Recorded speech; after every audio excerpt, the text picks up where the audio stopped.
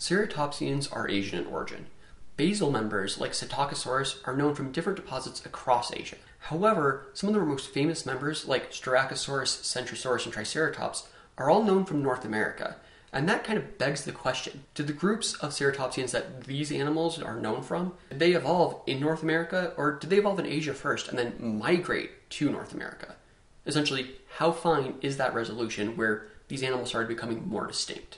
A newly discovered ceratopsian, Menefeeceratops, suggests that at least one of these groups, the Centrosaurines, which doesn't include Triceratops, probably evolved in the southwestern United States and parts of northern Mexico. Coming from New Mexico, and specifically the Menefee Formation, it may actually be the oldest known Centrosaurine ceratopsian. And the reason I say maybe is because there's another formation in southern Arizona which also contains the Centrosaurine. However, this Centrosaurine is Crittendenceratops after the Fort Crittenden Formation, and this formation has also been dated to about the same time, around 81 million years ago. So there's going to still be some argument over which one of these is actually older.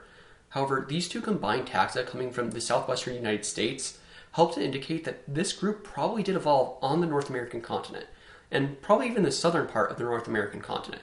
And Mexico doesn't actually have a lot of good formations for Cretaceous fossils that are known, and so there's a good chance they could have also evolved from there. However, it's going to take more research and more people getting out into the field to fully understand that. However, after their evolution in the southern part of North America, they became wildly successful, migrating northward into some of the most famous dinosaurs that are known, such as Centrosaurus, Styracosaurus, and even Pachyrhinosaurus.